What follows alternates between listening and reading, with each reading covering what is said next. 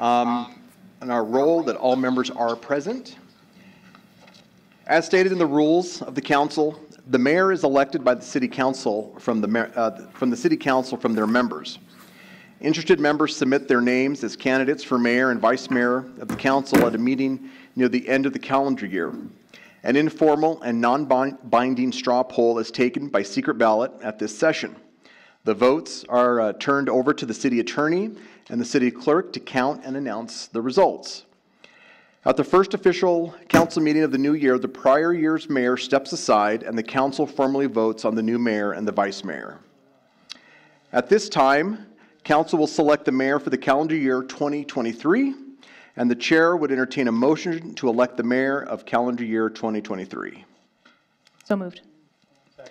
Moved by Councilmember Pollock, seconded by Councilmember Gamroth.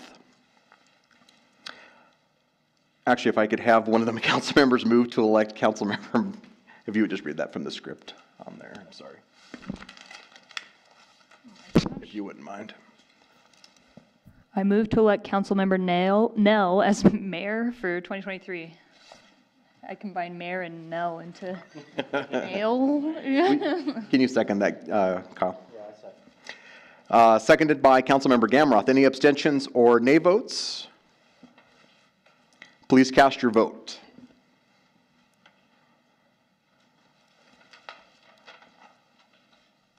Please record the vote.